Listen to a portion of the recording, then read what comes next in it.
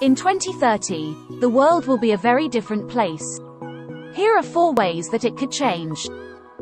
1. The economy will be very different. In 2030, the economy will be dominated by artificial intelligence and robotics. Jobs that can be automated will be done by robots, and most human jobs will require higher levels of education and training.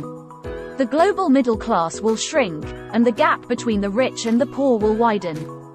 2. The environment will be in crisis. By 2030, the world will be facing a major environmental crisis.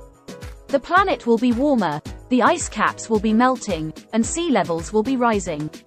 The Amazon rainforest will be gone, and deserts will be spreading. The world will be in desperate need of new sources of energy, and there will be a lot of conflict over scarce resources. 3. The way we live will be very different. In 2030, most people will live in cities, and the way we live will be very different from today. We will be using more technology, and life will be more expensive.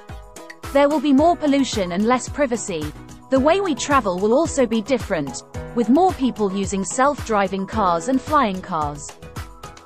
4. The world will be a more dangerous place.